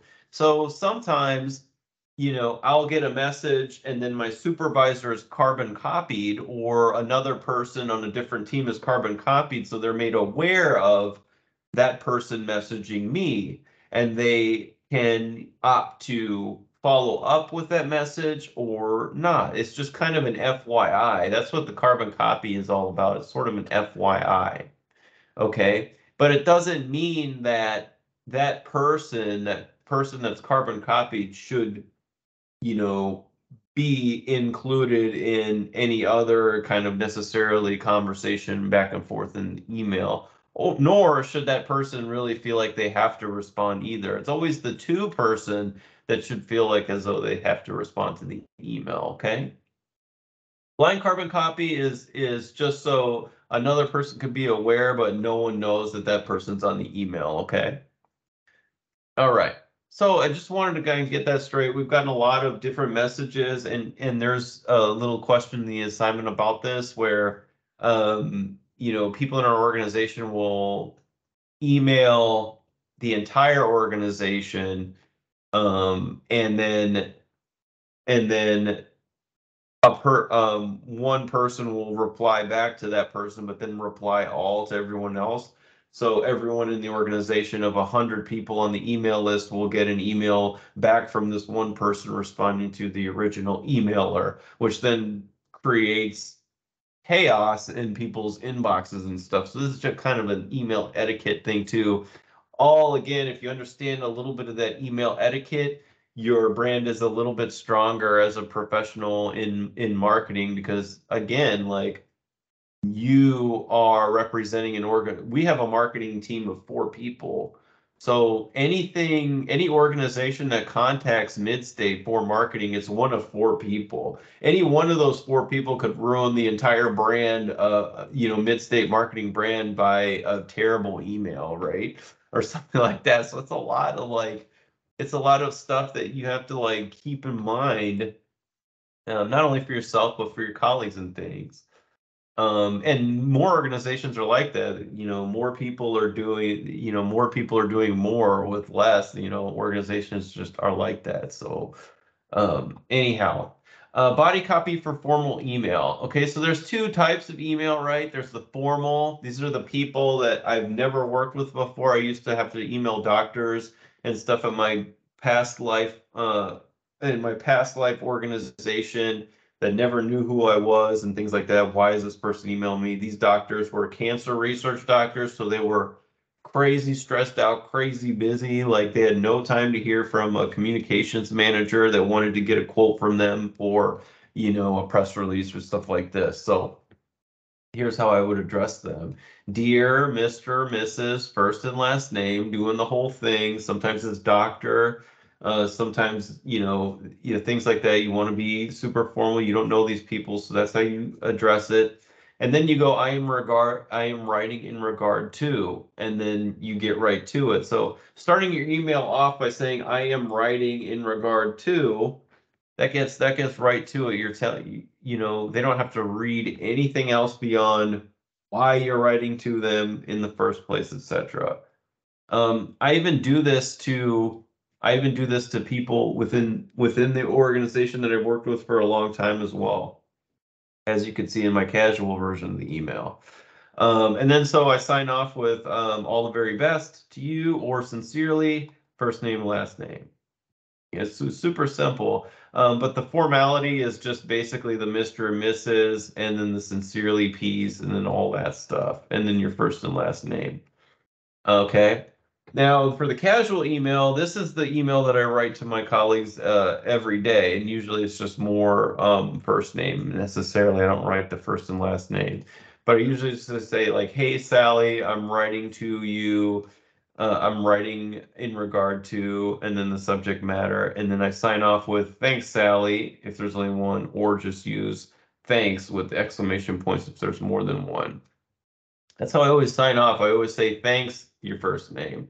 Hi, your first name. Thanks, your first name. It's a little more personal and casual, and that's just kind of like my brand of email writing. And so it's consistent. It happens. It it happens all the time. I started doing the. I started using. Um, I I started saying thanks and by person's name with exclamation with an exclamation point at the end because the president of Quad Tech, uh, uh, Quad Graphics, uh, used to write emails to all the employees that way. He used to sign off on all the emails to people that way. And it was super friendly and it was super like he was the president of like a three billion dollar company and he was addressing me by my first name at the end of an email with an exclamation point in a super friendly and personable way.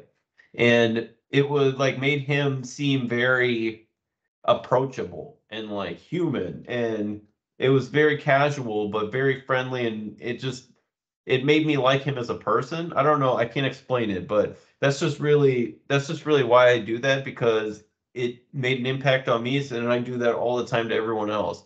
Whether or not i feel like whether or not i'm feeling depressed that day or i'm having a tough morning or nothing is ever working out for me that day i always sign off my emails like that because um, as you'll see as we talk a little bit more about the emails and stuff in this document, email is not about how you actually feel. It's about email email messages and texting in general. It's about it's about how it seems.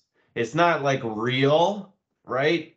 but you can seem one way in your text without actually being that way. Like I could be in a really good mood, but then I can write an email that comes across as like nasty or rude, but I wasn't intending it to be that way, but it seemed that way. Okay, so you can do just the opposite. You can be in a really terrible mood and then write an email that seems happy and go lucky and very friendly. So you want to make it seem very friendly and happy and lighthearted and um, professional, consistent um, to help your brand. Okay. So, um, common uh, best practice things to think about when you're uh, doing email uh, conversations. Um, so a lot of times in emails with um, with uh, you know, they're working on projects with other people in the teams about at mention other people in the teams if I want them to respond to a question email. So um, you know, me writing email to the supervisor, um, you know, uh, uh, hey, you know, uh, hey, John, uh, thanks for your message. I didn't, um, uh, I didn't see, uh, um, I didn't see a notification there. Thanks for pointing that out. And then you can maybe call out your coworker to say, uh, at, at Sam, at symbol Sam, um, please let me know if there's any other messages that might be out there that need addressing or something like that, right? So you can at mention someone else that's maybe CC'd in the email or in the to um, recipient address um, if you'd like them to respond to something specific in the message that they're CC'd on and things like that. So the at mention first name within the body of the email um, when you're working, uh, when there's multiple people within the email string is a good way to then call someone out and and and ask a question in one, you know, uh, address multiple people in one email stream without having to send multiple emails. Okay. Um, so I'll at mention people all the time. At mention so and so. Can you uh, uh, respond with an answer to this question? At mention so and so. Can you let me know when this due date is happening? At mention so and so. Can you know? Um, can you check this copy to make sure I, uh, that everything is uh, according to brand standards and stuff like that? Um, one, the word one. Um, I commonly use the word one instead of using the word you in an email. Um, and then I go through some points about that. Um, uh, one is that, well, the example is here's a message. You would think that multiple email channels would get better results in this campaign. Well, instead, I would say one would think that multiple email channels would get better results in one campaign. You say you, people instantly uh, in a very subtle way get a little bit defensive from that word um, so in here, like people get defensive subtly, and I try not to use that word. and That's just maybe me. I do like to use the word I a lot because I kind of sort of um, positioning, um, uh, putting myself out there is bet. It feels better for me than to than to say you to people all the time. Like you is kind of uh, could be um, interpreted maybe like a little offensive or something like that. And it's and it's okay to say the word you, but I'm just saying like um, I try to like watch how I say it, and then if I have to say the word you and it doesn't sound weird in the message, I'll say one. Like, oh, one would one would think that, you know, this is a good idea or blah blah blah, stuff like that. So so think about that. Um, that's one word that's a word that I found that was a nice replacement for the word you if you feel like um, using the word you might be like taken in in in in an odd way. Again, email is about um and and text messages in general is about how things seem and not like necessarily how they are so if it seems like it could be taking you know in a way where you're like kind of pointing the finger at someone saying you um, maybe one would be a word that works best um, in email also um, i always um, uh, say i feel rather than i think because i think me you know comes across as like um, i'm unsure of myself um, so I always say I feel instead. So like, oh, I think I think this is the best solution for this graphic design. Where in, in other words, I say I feel this, you know, this graphic design solution is better this way. So you know, feel I, I feel I think is a little more sure of yourself than saying I think in in the text written uh, area. Again, just little nuances of branding things. I'd definitely be interested in hearing like what some of you all um, have to think and say and feel about um, you know uh, words and stuff that you use in emails too that could be effective. I'd love to maybe change change up some of my stuff too. Um, okay. Uh, pronouns. Uh, so you know, kind of be aware that those are a thing, and people um uh are sensitive to that. So you'll want to um make sure that you notice whether pronouns are being used in like the um the sign off of the emails, and you want to use those appropriately um, once you learn about those or once someone makes those pronouns aware to you um, you'll just want to do your best to make sure that you um, are respectful of those um, uh, uh, pronouns that are preferred by those that you work with. Again, to make sure that your brand is on point as a professional. Um, um, ah, my understanding. So yeah, um, let's see.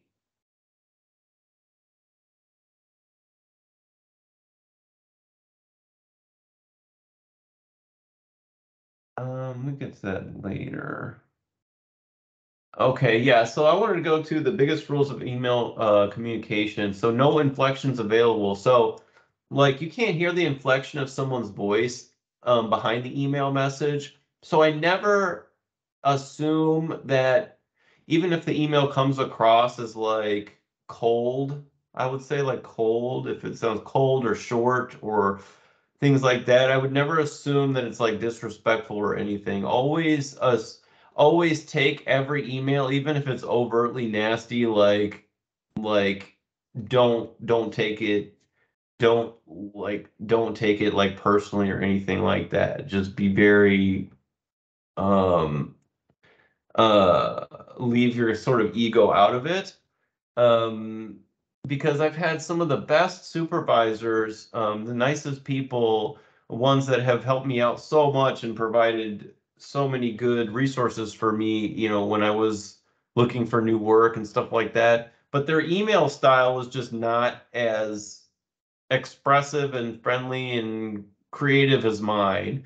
And so um, I always try to not take it personally because, yeah, they would have sometimes like some really short, abrupt cold like emailing styles and it's like i just know that person is not like that so you know um, i'm not going to take it in any such way so that's the disadvantage i think of emails is like you don't have the voice behind it the inflections at all so um, just keep that in mind like don't um, don't let that get to you i would say um, because it could really drive you crazy um, another one is never send the angry email um, and then and then specifically, not everyone knows this, but when you get an email that's an angry email, there's a certain way to respond no matter what is said in the email. And this is a question in the assignment that I'm going to give.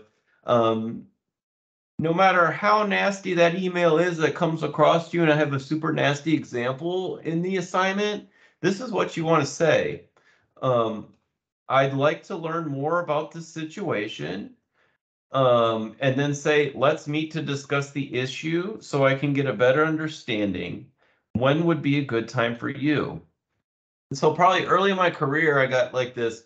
I worked for a boss, and my boss was like super um, abusive in email.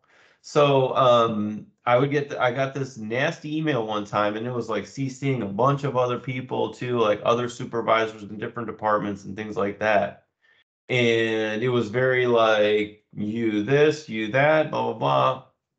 And instead of like responding and rebutting line by line to all these accusations that were made, all I literally said was, um, "Hi, so and so. I'd like to learn more about the situation or I'd like to talk more about this. Um, let's meet up and discuss in person um, or via meeting. What would be a good time for you? And then, of course, I'd always sign off. Thanks. so and so exclamation point because you always got to keep it friendly. So that's how it was. And why does that work? Why does why does that work? It's because people can be different people behind email than they can be in person. No one's gonna no one's gonna get very confrontational with you in person because usually the person that is hiding behind the email with all this nasty stuff to say is more of a coward in person. So what you want to do is basically put them on the spot by saying, "Hey, let's talk about this in person. I'd like to understand the situation a little bit better so we can we can figure things out. What is a good time to work for, you know, what's a good time that's going to work for you? First of all, it's going to make you look like a real professional. Second of all, it's going to diffuse the situation because once you get face to face with this person, they're going to totally change their tune. They're not even going to be this crazy person because they could literally lose their job for um, at, uh, being a crazy in person. And it's just going to make you then get the results you want, which is to find a resolution to the situation so you can move on to other projects and things like that. So um, keep that in mind. Don't rebut this, that, and the other thing in the email message. Just very simply stay um, and don't even say sorry say never apologize in an email. I would just say, I would just say, um, I'd like to learn more about um, how we could find a resolution. Please let me know what would be a great time to uh, speak with you in person. Um, this times works for me or whatever, right? That's all you really have to say. um, and that's it. Uh, we did talk about the reply versus the reply all. So, um, you know, only reply all if all need to reply back. Um, emails to avoid, uh, the emails that just say thank you. Um, all e reply all emails that say thank you. So if someone sends a message to the entire organization and then you reply back to the entire organization with something like a thank you, that's just not a really good look. Uh, messages in all caps, not a good look. Messages that use excessive bold, not a new good, uh, not a good look. Um, if I want to call something out, I'll use italics, which is like a softer way of making something stand out. That's a trick for use bold because you can't go without using bold. So italics is the way I use it. I never really use red or colors like that. I'm sensitive to color because I'm uh, an art trained artist uh, from my past life and then currently I do, you know, basically that. So that's something to keep in mind, the colors that you use. Um, a lot of people like to, uh, please, please see my comments below in red when they have a, you know, they're answering questions in past email strings. Well, I'm the type of person that's like, please see my comments below in blue or green or something like that. So that's just how I think and work. And I don't know, I think it's I I don't know. It's just how I feel comfortable doing that. Uh, messages with excessive punctuation, underlines and sentences and things like that, like underlining sentences and underscoring things. It's just not a good look. Um, and then response times, you know, not responding to emails right away, it's okay. Um, and then not checking your email first thing in the morning is okay. When whenever I used to check my email in the morning, I do that now. I check my email first thing in the morning, but um, when I was more of like a production person, a production artist person, I wouldn't check my email till like 10 or something like that um, because I would just start cranking out work the first few hours. So depending on where you are in your career, like you don't necessarily have to check email first thing in the morning if you're like more, you know, on the grunt, like doing a lot of like heavy lifting work, right? And there's some days where that's like me, but then other days, like, you know, today, for example, you know, I was checking my email first thing. So it just all depends on what your workload looks like, etc. Okay, so keep that in mind here. Um, and then let's go into the assignment real quick.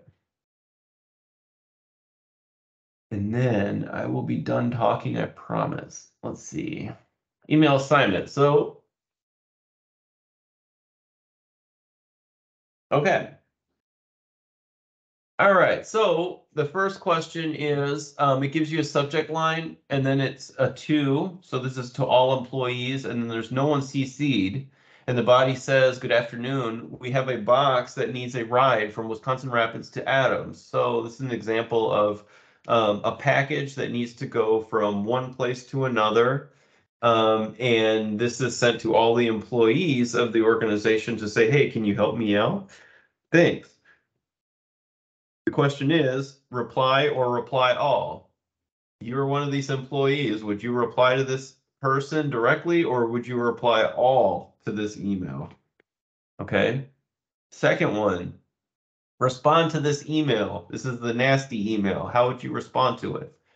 Subject, marketing event brochure design, events department, from the events department to John Sample. Okay, it's CCing the marketing department. And then this is the message. It's a nasty one. How would you respond to it? Based on the notes that we talked about, how would you respond to it? Okay. It doesn't, and remember, it's not about line by line saying this, that, and the other thing and rebutting all of this stuff. This you could just not even, you can just not even read. You know how to respond to it. Okay. And how would you rewrite the email above? That's question three. So if if you were to be the person that had to write this email in question two, how would you write that in a way that is more professional and true to your brand? That makes you look good and not makes you look like that. Okay? And that's the assignment there. And so that's what I have for you guys. Uh, you have the places to turn in the assignments here on uh, Blackboard too. So I just have a little note here. Please turn your assignment in there. And for project two, please turn your assignment in there. I will have this video uploaded and uh, let me know if you all have questions.